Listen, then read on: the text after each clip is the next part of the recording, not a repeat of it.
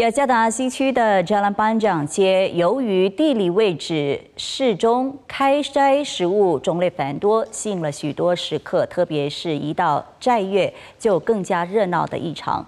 那么，在疫情期间的斋月，该市场的情况又是如何？我们来看一下记者发回的报道。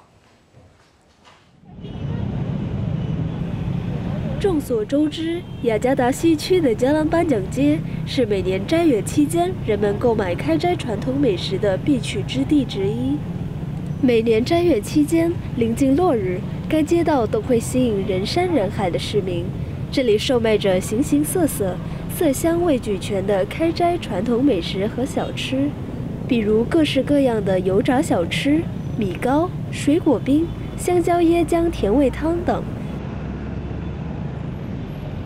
据一位售卖开斋美食的商贩老板说，离开斋时间三至四个小时之前，他们就在这里做开业的准备了。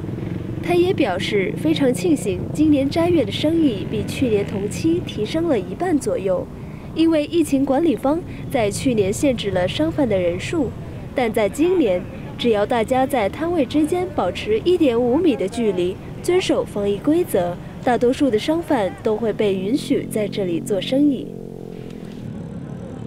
Kita sampai sini sekitar setengah dari rumah jam 2 sampai sini setengah tiga lah udah tuh. Oh iya, masker wajib, cuci tangan, terus setiap pedagang agak jarak, jadi makanya ada satu meteran lebih.